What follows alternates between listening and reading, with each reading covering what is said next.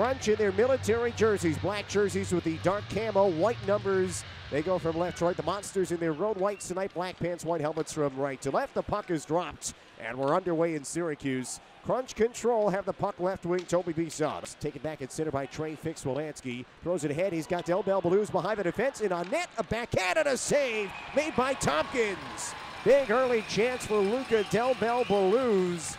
And Matt Tomkins swallows up a backhand opportunity. A right wing pass comes to Rocco Grimaldi. Veteran forward down low. Throws it in front. They score. It ricocheted off of Santini and in. A power play goal by Rocco Grimaldi. And the Monsters, eight seconds into their opening power play, take a 1 0 lead. 13.43 left in the first period. So Grimaldi gets the power play goal. And the Monsters open the scoring, his second goal of the year.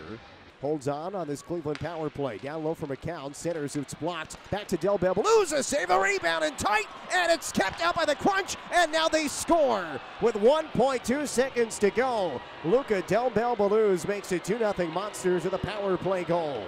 Also, Nitmouse scramble. Tomkins made a diving, lunging save. There were a couple of defenders in the vicinity. The Crunch could not quite keep it out to end the period. So Cleveland strikes again, a second first period power play goal, and it's 2 0. Left wing pass, now comes across for Skolansky, in shoots, scores. Trey Fix Wolansky makes it 3 0 Monsters. 13.25 to go in this second period. Well, the usual suspects for Cleveland now getting involved. Trey Fix Wolansky, dominant scorer for the Monsters, snaps it past the right arm of Tomkins, and it's 3 0 Monsters. 13.25 left in the second period. As Fortier sets up Duke in the offensive zone, tries to thread the needle for Hooten, ends up in behind the net. And now the gloves are going to drop. It's Crozier. Crozier's dropped it with McHugh. They come together. Crozier throwing a heavy right. McHugh comes back. Crozier landed some heavy rights again. McHugh got it right over the uh, the helmet, then a midsection blow. Crozier back with some rights across the side of the face. A wild right by McHugh. Crozier lands another one. Oh, he's hammering away now. And the officials, the linesmen, step in. Well, that has ignited this uh, building tonight. Max Crozier and Max McHugh. Back across to the near boards for Goncalves for the crunch. Turns back toward his own zone. His pass picked off. Short-handed. Here's Pearson. He's in. Shoots. Scores. A short-handed goal for Justin Pearson. And it's 4-0 Monsters. With 4.38 to go in the second period, Cleveland cashes in short-handed. The third short-handed goal allowed this year for the Crunch. And that's just a disaster. Goncalves reaches it for the Crunch. Comes to Sheary. Shoots and scores!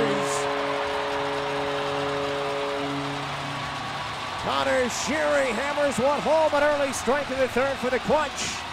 129 into the third, it's a 4-1 game. Goncalves pokes it past him. He's got Sheary across. Steady drops it for Fortier to the net. He scores!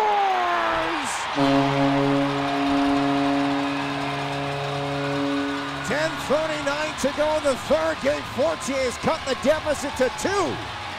He drove hard to the net and stuffs it past Greaves. It's 4-2 here in the third. A big time power move by Gabe Fortier. He went crashing into Greaves, but forced it home before the collision. And the have scored twice in the period, and they're right back within two. Not even halfway through this third. It's poked out of the zone. Sillinger tracks it down, near his side, gets down low, pass in front, they score.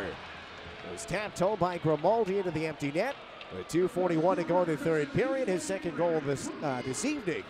And Rocco Grimaldi makes it 5 to 2 Monsters here in the third.